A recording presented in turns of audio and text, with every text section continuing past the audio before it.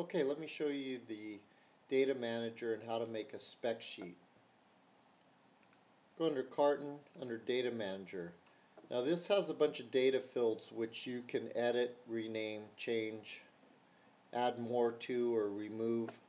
Um, up here in the upper left you see customer name.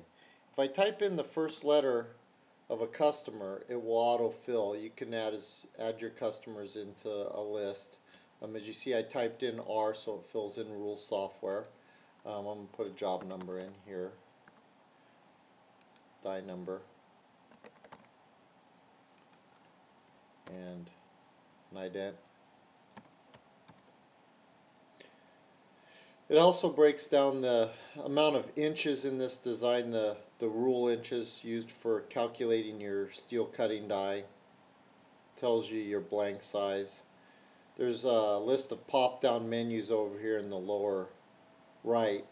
Um, material types I'm going to put in here. I want this to be out of 200 B flute.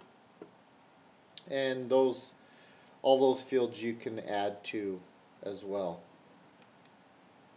Okay, the next step is going to be to make a spec sheet. So I go under File, under Spec Chooser.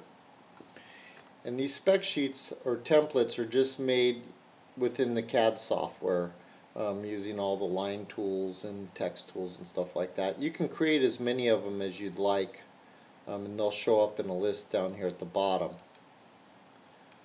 So I say spec them and as you see it puts the box design into a, a spec sheet and it fills out all the data information um, fields for you. So now you can just real easily send this to your printer or you could save out a PDF uh, to email to your customer.